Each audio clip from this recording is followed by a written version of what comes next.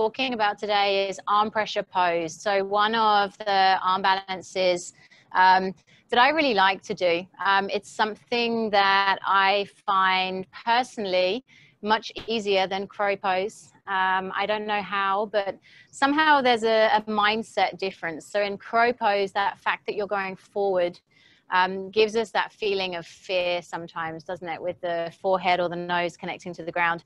And the difference with arm balance pose or arm pressure pose rather, is that you're leaning backwards.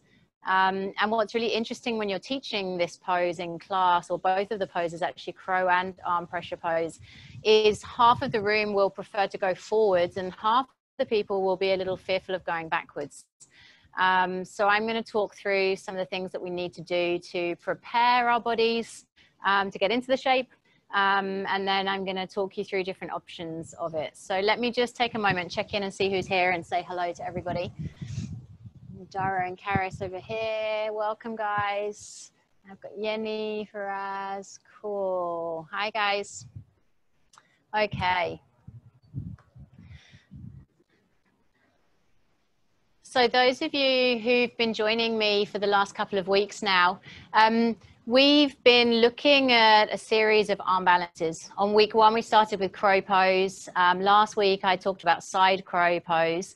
Um, and this time we're going to be talking about arm pressure pose. So arm pressure pose, if I show you how it looks, first of all, um, then I'm going to work backwards from there. So I'm going to show you how it looks, and then I'm going to talk to you about what needs to be open in the body.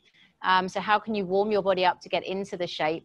And then what needs to be strong once you're in the shape? So I'm very much focused on the anatomy of the poses when I'm preparing the body for a, a class.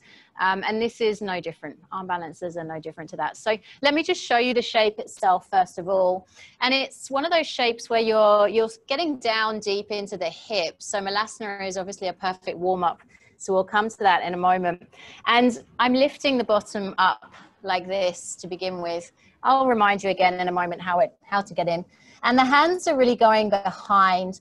And I'm going to use blocks because I have tender wrists today. And I'm sitting back and I'm just going to show you the shape itself. Crossing of the ankles and you're looking forward. So it's a different setup to crow pose where you're bending and leaning your, yourself forwards. Um, which mentally, as I said before, seems to be a little bit terrifying for some people, myself included. Okay. So, what needs to be open to get into that shape, first of all? There's an element of um, openness through the adductor muscles, the inner thigh muscles here, to be able to get into this area um, of the groin. And then you saw when I'm getting into the shape, I'm trying to get the inside of my thigh, as with all of the arm balances really, as far up the back of my arm as I can. So forward folding is going to be a really, really helpful um, tool. And the good news is in every single sun salutation that we, we do, every um, preparatory sun salutation, without even trying to add in anything special, there are lots and lots of forward folds, okay? So no worries about how we can get nice and warm in the lower back and through the, the back of the legs here as well. This particular pose, this arm balance, um, is often seen as preparation for what we're going to look at next week, which is firefly pose. So when you're coming into the forward folds, it can be really helpful to think about lengthening um, the hamstrings. So that group of three muscles on the back of the legs as well. So have that in the back of your mind. Um, and then, of course, hands are always going to be something that we're working on releasing. So I've talked to you guys a little bit the other week, I think it was in week one, about taking the hands nice and wide, so fingers as wide as you can. And um, actually, Ana Forrest taught me this in one of her workshops that I did last year. And you're just going to pull the thumb towards you, reaching the fingers as far away from each other as you can. And as you pull the thumb towards you, you're going to take a really nice, slow, big breath. So, really big inhale. And then a really big exhale, still reaching the fingers away from each other. And when that breath is finished, you move to the next finger and so on and so forth on both of the hands. And what that does is just release some of the pressure um, in the, the muscles in the forearm and then gives us a bit of space in between the, the ligaments and tendons of the hand as well so that when we put the hands on the ground there's a nice foundation um, there. So let's think about some shapes that we could include in our practice to help to get us nice and warm for this pose. First of all, I would suggest coming into bound angles, so soles of the feet together and, and interlacing of the fingers. And we want the spine to always be nice and long when we're practicing these, these shapes. So as you exhale, you're going to keep the spine long and you're leaning into it. So it's not that rounding of the spine, it's a real lengthening of the spine. So the chest stays open, the collarbone's broad.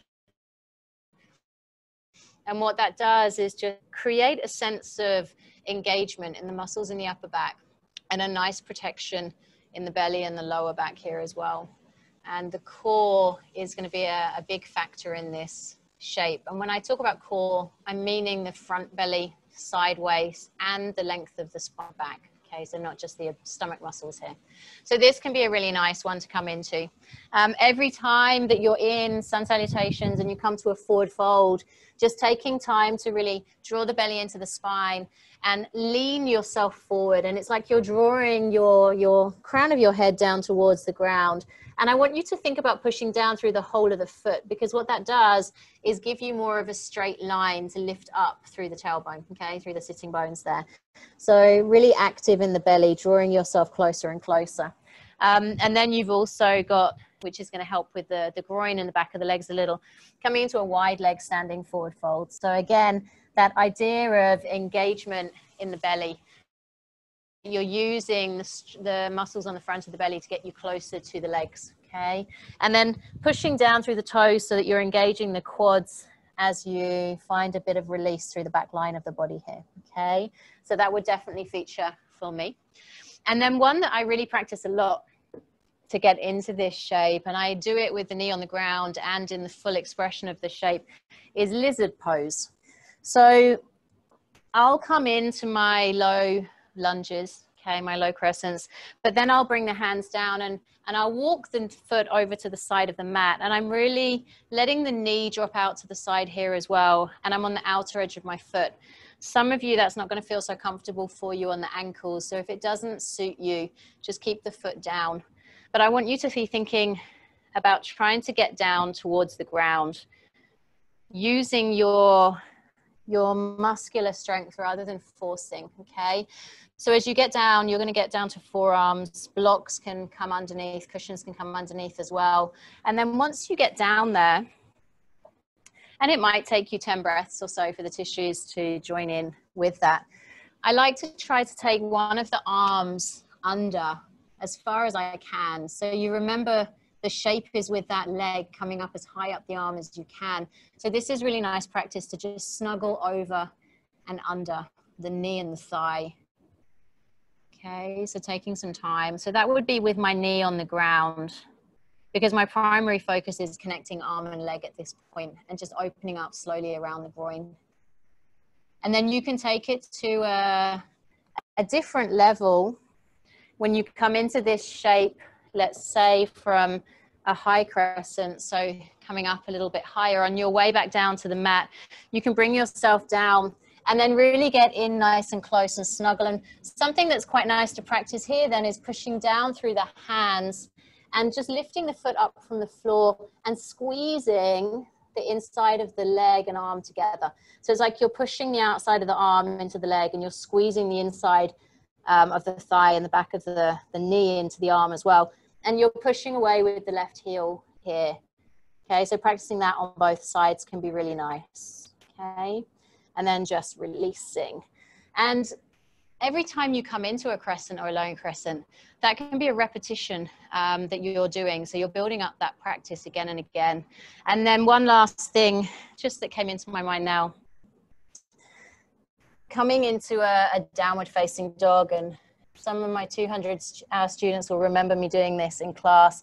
Leg is lifting up. And then every time you're doing a core curl, which is bringing the knee to the nose, you're activating the, the same core muscles that you need for the practice. So that's perfect. But how about taking the knee as high up the arm here as you can and practicing to squeeze in and maybe even coming into yogi push up. Okay.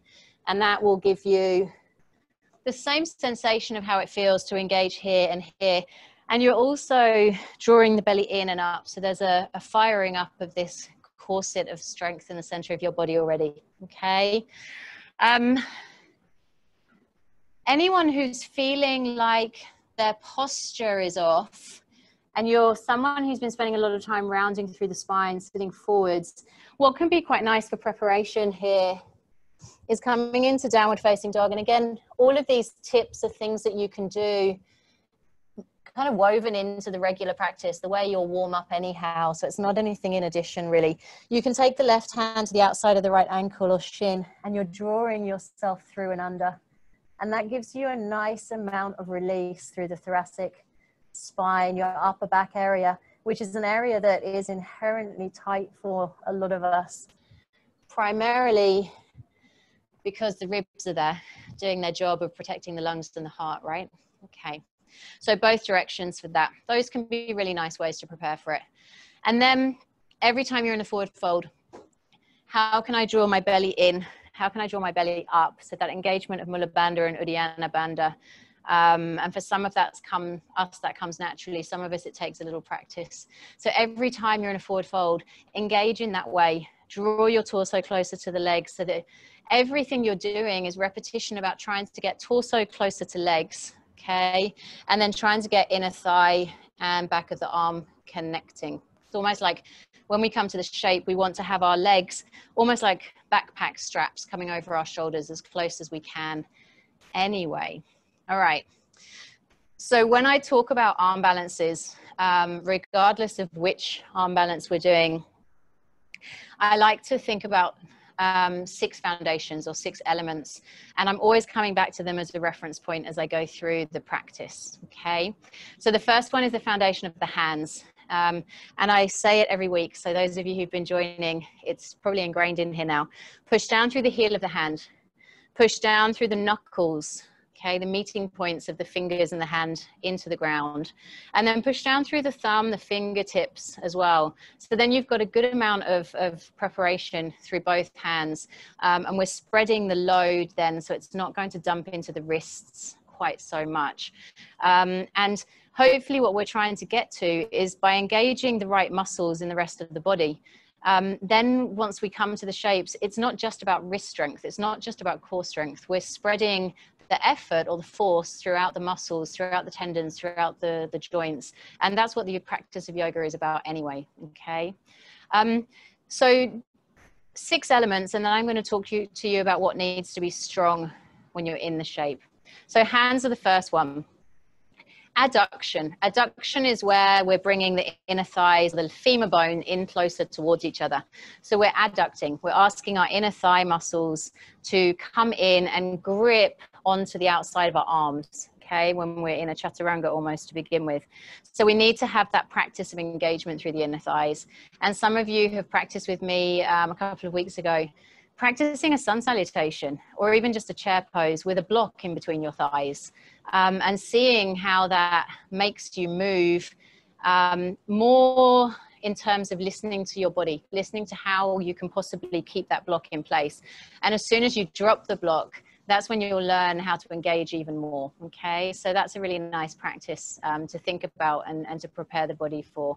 And once you practice that a few times, I feel like the muscles start to get a little better at switching on um, more intuitively. Okay, and we're reinforcing that connection between the, the muscles, the nerves, and the brain. Um, and then third thing is core. So I'm always talking about drawing the belly in and up. And what I mean by that is really, can you please engage Mula Bandha and Uddiyana? Um, but most people don't know what that is. So my connection is draw the belly in and then almost scoop it up. And that fires up the transverse abdominis, the rectus abdominis. And it also then fires up the multifidus, the muscle on the back of the spine, um, supporting the back and helping us to sit upright. Okay, so rooting in, lifting up. Um, and then the direction of the spine. So we're trying to keep the spine long so we want to keep space in between the vertebrae. Collarbone is as broad as we can. And then inevitably, when the legs come over the arms, there's a, a, rounding of the upper back. Okay, so we want to be rounding a little bit here. And something that can be quite nice to prepare for that sensation of rounding is eagle arms. Okay, so you're broadening through the, the back, and that will be really nice. let me just remind you something I really like to do is actually at the beginning interlace the fingers and push the hands away. That kind of draws the belly in and up, like I was talking about for the arm balance, and creates that nice curve through the back of the, the spine, separates the shoulder blades a little, just like we are asking in the pose. And then I lift the arms up, but instead of puffing the chest forward, my ribs are drawn in towards each other. So I'm kind of mimicking what's going to happen in the shape as well. And then still with ribs and belly strong, I interlace the fingers behind the back. So I'm just opening up the chest. And when I'm looking forward, I'm not looking like this. I'm almost drawing the chin into the chest. So I'm, or into the back of my head. So it's a bit of a double chin thing. And then that gives us a bit more strength here and here. Okay. So anyway, let's go back through those things. Number one is hands. Number two is squeezing inner thighs or adduction. Number three is the belly drawing in and up. Number four is that ability to have a nice long straight spine. And then at the last moment when you need it, that gentle rounding of the upper back. In crow pose, the fifth thing is leaning forward. You'll see in this shape where actually the fifth element is leaning backwards. Um, so we have to kind of prepare our minds a little bit for that. Um, and then once you're in the shape, with this one, it's uh, kind of leaning back and lifting the feet, and then the action, the sixth element, is, is what's going to happen with the feet. So it's a little bit of talking to your mind, a little bit of talking to your body, um, and then a little bit of switching off thinking. Because I always think when we think too much, that's when we stop ourselves from doing things. Okay. So things that need to be strong in the shape, um, belly, obviously, um, that corset of power around the core. Um, inner thighs, we've stretched them to begin with to be able to easily get into the forward fold um, with the legs open. But we're going to be we're going to be really engaging inner thighs in the shape itself. So we want to be used to firing those muscles up. Um, as well. And then hands. It's not really a strength with the hands, but a, a broadening of the hands. Okay. So let me show you um, how we get into it um, in a standard way. And then I'm going to talk you through some simpler ways to get into it and then talk to you about what comes next. Okay. Um, I'm just going to check in if anyone has any questions that you would in particular like me to, to cover um, once I've got through some of this stuff, just type it into the messages and I'll be really happy to, to come back to that. Okay. So let me just have a check and see if anyone has anything now. Guys, good. All right. Okay, perfect. Let's get going then. So I'm going to use, um, actually I'll put the blocks aside for the moment. So I'm going to come into the shape as it is and I'm starting in Malasana and I didn't really list this as a nice starting point um, before as a way to warm the body up but it's perfect. It's the perfect one um, because you can practice just simply opening the hips up by using the arms to push the knees away from each other. But you can also then practice engaging the inner thigh and trying to really push that into the back of the arm, right? So you can be sitting up nice and tall, just opening the groin, and then you can be activating, practicing engaging the adductor muscles here as well. So that's a nice start point. So I'm going to really get in nice and close. So it's almost like my legs are hugging into my rib cage here. And I might practice squeezing there just to see how that feels. And then I'm going to extend my hips up. Okay, so still the same thing to begin with. Hands, rather than coming in line with my feet, I'm trying to walk my hands back behind me. Now, I'm not going to get the whole of my hand flat to the ground until I start to almost lean backwards. So this is where the trust part comes in. So this is where you have to switch off the mind and just kind of go with it. Okay. And this is where a lot of people need blocks under the hand. So I'll show you that version in a moment. So I'm on this part of my hand, the fingers, the first part of my hand here. And as I lean back, the whole of my hand is going to come down to the ground. So don't worry too much about that at the moment.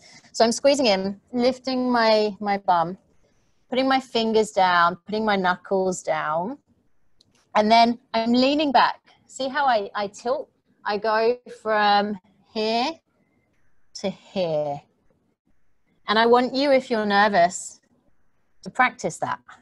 Being okay with looking behind you and then looking down and forward, because that's what's got to happen. Okay. So that's a nice way to overcome the fear of falling backwards. So let me go again. Fingers down, fingers are behind the feet, sinking back, and then that upper arm becomes a shelf for my inner thighs and back of the thighs. So here I am, I'm resting, I'm squeezing inner thighs in, my belly's drawn in and up. And now I'm walking my feet in closer towards me. Okay. First step might be that you're just lifting the feet up. I personally like to flex them, it gives me a bit more control. Okay. So that can be step one, um, working with just lifting the feet. And then if that feels comfortable, you're doing the same setup, leaning back, feet come in together. And second set, second step might be bringing the soles of the feet together. Okay, so like a bound angle, but on your hands. And now I feel like different parts of my hands start to lift up. As long as I feel stable and I'm spreading through most of the hand, that's okay, like a cupping effect. So I'm squeezing feet together. Okay, so that's another another option. And then the actual shape. So fingers behind the feet, knuckles down, hands down, leaning back, legs connecting to arms, lifting feet, and then I'm squeezing inner thighs in and I'm hooking the feet around each other, okay? And then trying to straighten out the arms a little. And if it doesn't work in one direction, try for the second direction for the longest time, I felt like I could only do this in one direction. Okay, so be okay with that. So then unhooking, falling down, falling down or landing gracefully. Okay, I like to think that we have this padding um, on our bottoms for a reason, for arm balances that go backwards. So you see the difference between going forwards with crow. Um, so the fear is is falling forwards. This way, we're just going to fall back. And worst that's going to happen is you'll land on your bottom. Okay. So I'm going to show you it with blocks because I actually quite like this. And when I'm using blocks, I can't put my hand on the block. What I like to do is put the fingers to face downward on the side of the block. And then I'm bending and placing the palm of the hand onto the top of the block. Okay. So it's like this. I see a lot of people also making the mistake of fingers facing in the opposite direction to toes, but everything's facing forwards, okay? If you're using the block though, fingers go down and the top of the hand is on the block. So let me show you with this and hopefully you can see easily the angle. So I've set the blocks up just behind me here. I'm in a malasana or a high malasana and I'm lifting my bum, fingers down on the blocks. I can push them back a little and as I lean back, palms of the hands come down. I've got a bend in the elbows and I'm resting the back of my thigh, femur onto the back of my arms, and I'm squeezing inner thighs into my arms. And then I'm lifting the feet, flexing. And I'm squeezing the feet towards each other, squeezing inner thighs, and then I've hooked my toes around. Okay. Remember, there's the option in between to just bring soles of the feet to touch. Okay. And then bringing it back down. So how can we access that in a lighter way? Um, I saw a really cool version of this with a girl in class recently, and um, she actually set her blocks up for her bottom to sit on. So let me show you how that looked. It was kind of cool. So she sat on the blocks. She came into her position like this, and she leaned forwards like this. Belly was engaged. All of the same elements were in place. And then she leaned back and she put her hands nice and wide um, towards the blocks. Okay.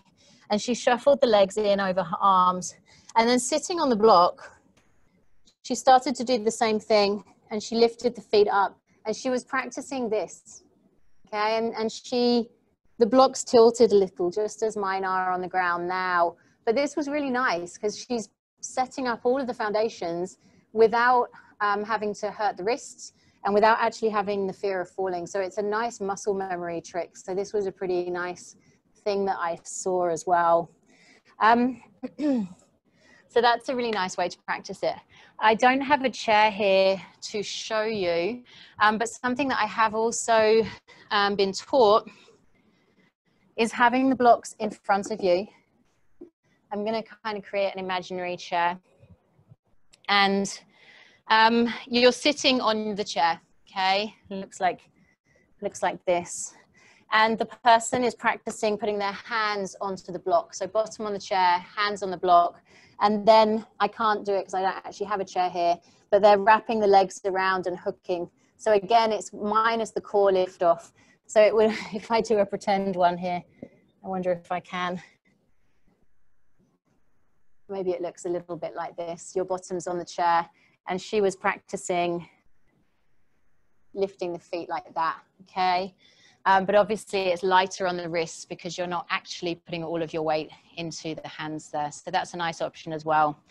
So you can put blocks under your hands. You can um, put a chair under your bottom. You can put all manner of different ways of doing it. Okay, you can come into it on the ground. Um, it doesn't really help you to have your feet on blocks because I tend to feel like if you do and then you go back, it's more of a, a falling backwards sensation. So I'm, I'm more, much more about having um, the blocks under the hands and actually that's more for wrist safety than anything, okay? Any questions about that so far? That's a lot of me going blah, blah, blah, blah, blah. Okay, let me just come in and check.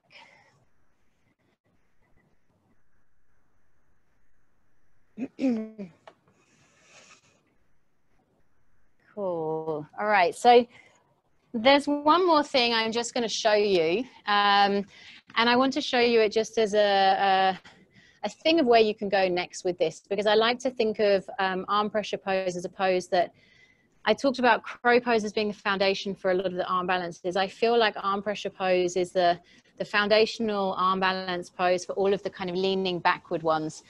And you can actually then transition into poses that go between leaning back and leaning forwards. So there's lots of fun transitions that come from this as well. So let me show you what we're going to do next week. Um, and maybe that will um, excite you to come back and join me for the number four talk. Um, but this shape, once we've practiced it, this is a warm up often for, for firefly pose.